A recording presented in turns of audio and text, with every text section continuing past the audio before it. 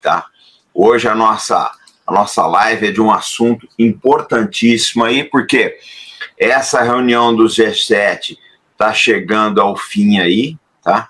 É, chegou ao fim, na verdade, né? É, foi patético, essa que é a verdade, pessoal, goste ou não goste, foi uma coisa patética aí. E o Zelensky tentou roubar a cena, mas não conseguiu muita coisa, não. Eu acho que a única coisa que se, assim, pode dizer que saiu dessa reunião é o consenso de fornecer jatos F-16 para a Ucrânia. De resto, foi um negócio tão pavoroso que eu quero mostrar uma coisa aqui para vocês. Quer ver? Ó.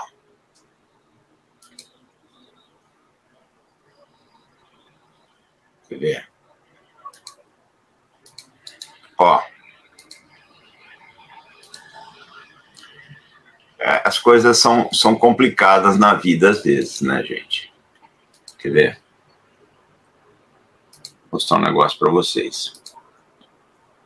Até a CNN, olha aqui, ó. Olha esse artigo da CNN. Zelensky comparou Bakhmut a Hiroshima. E aí a, é, a, a CNN está falando, né? Espero que ele se lembre quem bombardeou a cidade japonesa. Foi de um mau gosto essa reunião.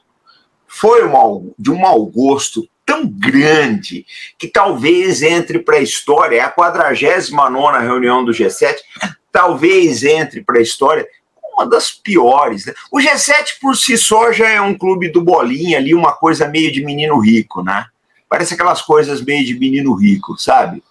E, e assim, de um mau gosto pavoroso fazer Hiroshima, não pediram desculpa, não nada. E foi um negócio horrível, horrível, horrível. Horrível.